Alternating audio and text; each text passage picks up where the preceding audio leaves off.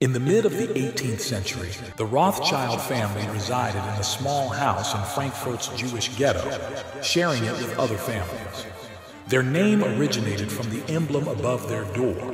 Mayer Amschel, the family patriarch, was referred to as Mayer Amschel from the Red Shield in Old German, or Der Rothschild.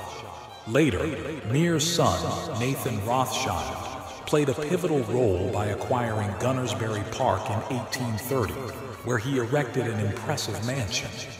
Nathan's journey unfolded as he was sent to Great Britain to expand the Rothschild empire within the vast United Kingdom. Nathan Rothschild's relocation to the United Kingdom marked a significant chapter in the family's history. His endeavors included establishing a financial presence and engaging in strategic banking operations. During the Napoleonic Wars, Nathan demonstrated financial astuteness by leveraging early information to gain a competitive edge in markets. This period laid the foundation for the Rothschild family's enduring prominence as a powerful financial dynasty in Europe. Thank you for being part of LuxaraLoom, where stories come to life.